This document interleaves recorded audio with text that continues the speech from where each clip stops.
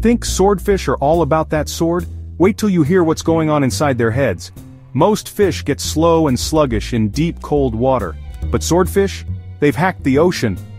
Behind their eyes they have a special muscle, like a tiny heater, keeping their brain and vision warm, sometimes up to 15 degrees Celsius hotter than the freezing sea. Why? Because in the dark chilly depths, warm eyes mean super fast vision and lightning reflexes. While other fish are in slow-mo, swordfish are seeing in high def and reacting twice as fast. Their trick? A powerhouse muscle burns fat for heat, and a network of blood vessels locks warmth in place, just like a thermal flask. This lets them slash through schools of fish with pinpoint accuracy, even 800 meters deep.